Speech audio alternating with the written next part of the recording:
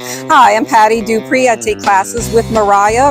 I actually started taking classes about a year ago. I just moved to Lafayette. I wanted to meet some new people and I thought it would be fun. My biggest frustration was when I moved to Lafayette, I never really been around a lot of Zydeco and I didn't know how to dance and it just really gave me confidence. You know, after I started coming to the classes, it was so much fun. Moriah's energy is just contagious. It's helped me be more confident in my dancing skills. Like she shows you step by step. It just makes it so fun. I mean, Moriah's personality is so contagious and she's such a great dancer.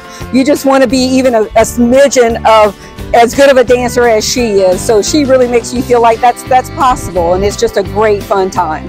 Hi, I'm Mona Woodson. I take classes here with Moriah Zydeco Dance. I'm Becky Mayeux. And I guess it was uh, it was difficult at first to kind of understand all the steps and you know remember what you're doing, but she was so great about it because she'd come around, make sure that you knew what you were doing. She never made you feel bad about yourself. You know, she did it. She'd cut up and laugh, and and she made it fun. Yeah, coming in, I didn't have a lot of confidence in doing this, and I really never knew how to Zydeco and I always wanted to learn. I was afraid at first, but she made it so easy. I just really feel good now about it. So I've, I've learned a lot.